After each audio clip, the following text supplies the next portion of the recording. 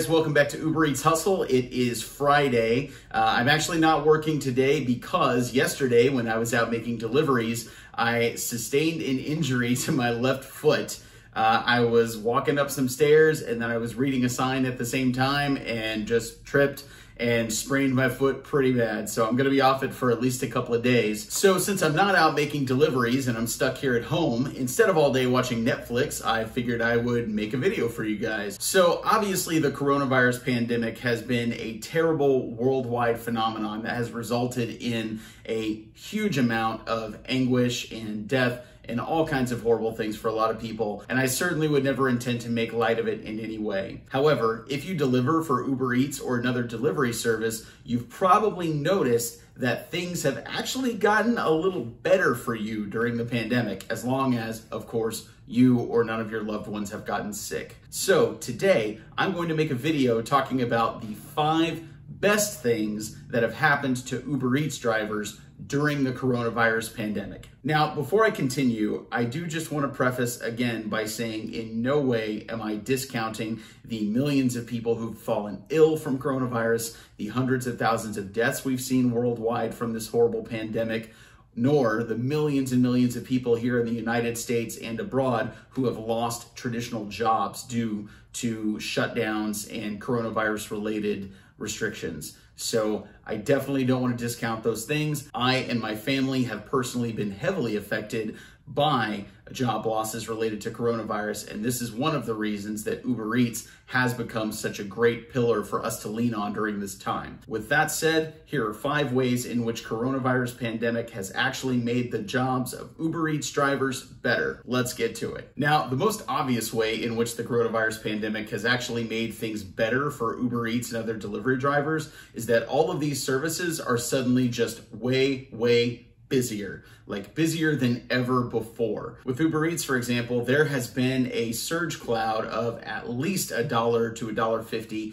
over the entire central area of Dallas literally all day, every day since the coronavirus pandemic began. And in the busiest times, such as dinner rushes and lunch rushes, almost every day that surge cloud will get up to anywhere from four to eight dollars stacked on top of every single order that you get. So it becomes very easy to rack up just base pay and surge without even adding tips into the equation. Now the reason for this is simple. It's because everybody was staying home. Most people's offices were closed. Uh, many restaurants went to to-goes only. So you had serving staff who was suddenly at home. Uh, you had millions of people's jobs who were affected by this, either by furlough or by having them work from home. This also meant that dining rooms for restaurants were closed in most major cities. Now, demand for that restaurant food is not going to suddenly disappear. People still want to eat tacos from their favorite taco spot or get their favorite Thai food. However, since they can't go eat at that place anymore, now suddenly there is a huge demand for delivery services. And all that extra business equals lots and lots of deliveries for drivers so that we stay constantly busy, we're earning surge pricing all the time, and we end up going home with bigger earnings than we typically would in normal times. Now, since there was so much surge pricing due to the increase in demand, that means that delivery fees went up. Now, you might think that would result in people tipping less in order to compensate for the increased delivery fee. However, due to the huge public attention push put on rewarding essential workers, you know, of course, like doctors and nurses and healthcare professionals, all those things, but also delivery drivers being included in a lot of the verbiage around that, we did see that tips did not go down, but in fact, they went way up. I can tell you over the last two and a half months since the coronavirus pandemic shutdowns happened, I have never gotten so many uh, 15, 20, $30 tips. No, it's not every single customer, but overall tips have been increasing and I've seen a huge spike in the number of people who are tipping those just very outlandish amounts, you know, 50% of their bill, 100% of their bill, sometimes more than that. So uh, tips have definitely increased for Uber Eats drivers during this time. So the next big way in which things have actually gotten better for Uber Eats drivers during the pandemic is that restaurant staff have gotten far, far friendlier, at least in my personal experience. In normal times, we are not exactly a popular crowd with bartenders and to go people who end up packaging our orders and handing them to us. While many of them are perfectly fine and friendly, we often encounter many who are rude to us, who never smile at us, who will make us wait while they're helping other customers. And the whole reason behind this is because they know that when they see an Uber Eats driver or a DoorDash or Grubhub or Favor or any of these services, they know that they're not going to earn a tip out of their interaction with us. And that is because these services don't give the driver the option to tip the server or the bartender, which makes sense. They have an incentive to serve those customers who it's going to be most lucrative for them to pay the most attention to.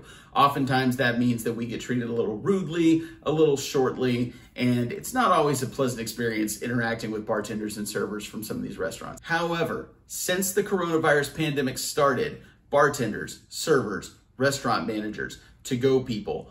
All of these employees of restaurants seem to have gotten far more friendly to us. And I think that's because their restaurants have taken such a huge hit. Many of their staff members have been furloughed, they've lost hours, they've lost people permanently. And I think because of that, they feel a real sense of being in danger and they feel very thankful for any business that they do get. And so, what I've noticed is that they tend to be a little friendlier to me and I try to be friendly to everyone when I interact with them anyway. It seems that that is being returned a bit more. And overall, it's almost created this weird sense of camaraderie, whereas before, I think they saw us as competitors at best and nuisances at worst.